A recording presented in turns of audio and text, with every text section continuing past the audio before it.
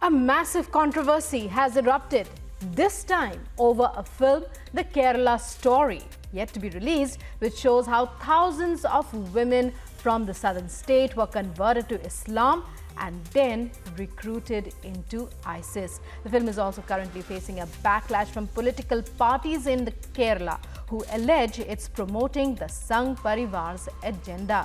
A detailed report. Tell me, when exactly you joined ISIS? Ever since the release of the trailer, the Kerala story has grabbed headlines. The movie has triggered a massive political controversy. Christian,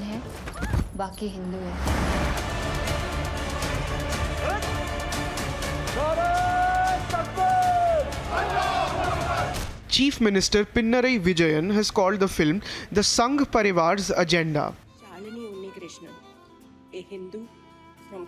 But the makers of the movie have countered this claim. They say that the film is about human tragedy.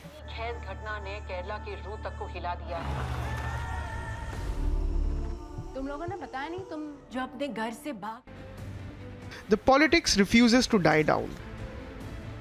Kerala women goes there for service and for now not for ages.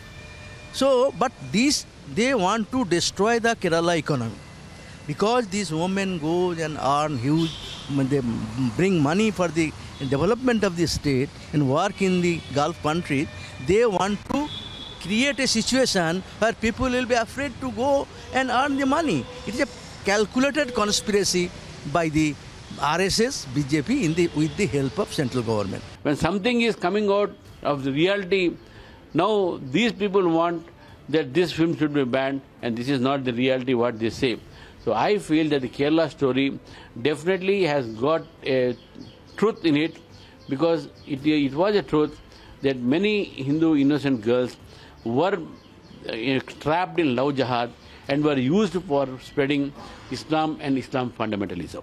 Any issue because we believe in freedom and expression and uh, freedom and choice. They are very well, they are ready, uh, welcome such movies whether against or favor, but they must show the number. Until they submit the list of the number of uh, converted women, uh, it should be banned. But the big question is where are the flag bearers of the freedom of expression now? तुम लोगों ने बताया नहीं तुम bureau report Republic TV रेगिस्तान में दफन हो चुकी है